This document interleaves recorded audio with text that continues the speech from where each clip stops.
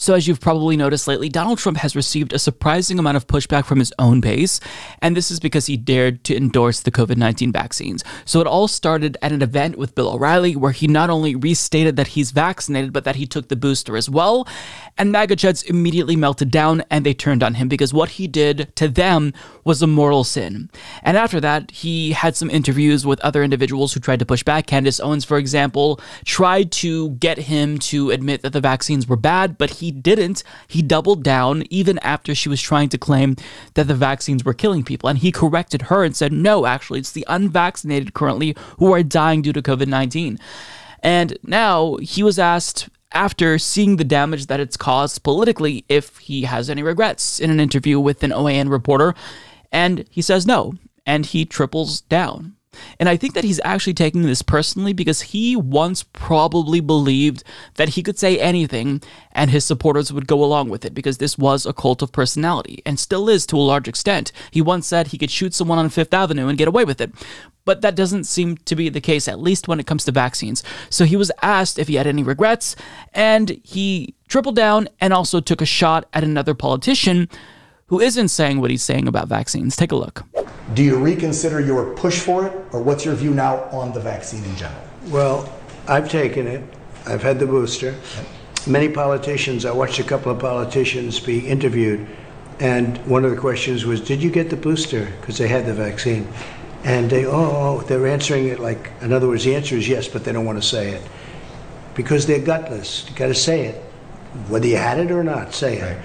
But the fact is that I think the vaccine has saved tens of millions of people throughout the world. Okay. Uh, I have had absolutely no side effects. I've had it like other people have had it, nothing special.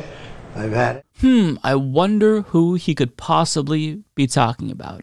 Have you gotten the booster?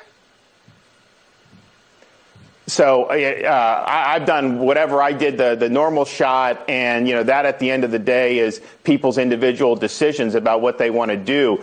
So, in other words, yes, you did take the booster, and Donald Trump is absolutely correct about you. You know the booster is important, but you're not saying you got the booster for purposes of political expediency because you know that's a red line with the GOP base. The GOP's far right conspiratorial base is not going to accept anyone who is pro vaccine. So, you're going to get vaccinated because you know that they will protect you, and then you're going to lie to the base, or at least evade questions about your vaccine status just to make sure that they're happy. So, Ron DeSantis here, unlike Donald Trump, is reading the room. He knows what will play with the GOP's base in 2022 and more importantly, 2024.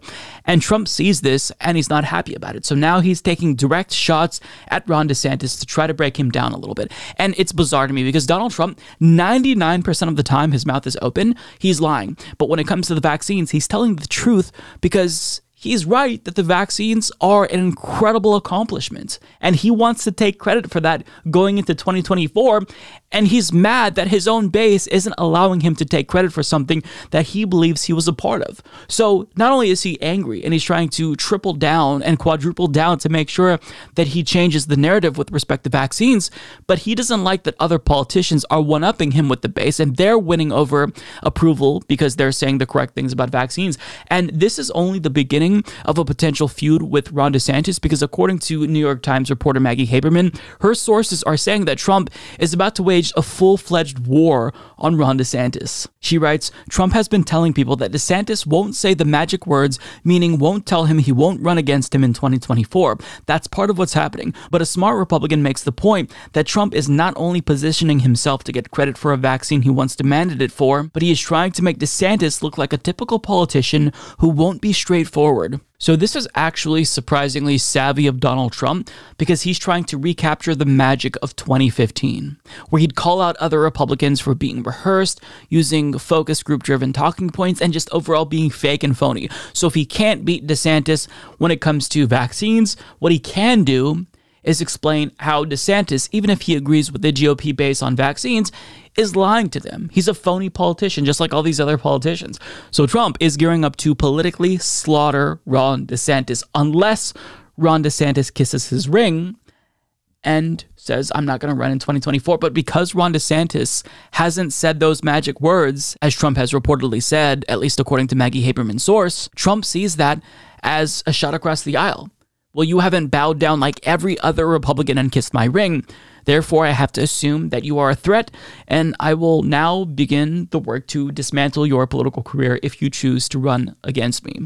Now, currently, if you look at public opinion polls, Donald Trump is still by far and away the favorite to win in 2024. But in the events, Trump continues to push vaccines and the base is still reluctant to change and adapt to his stance.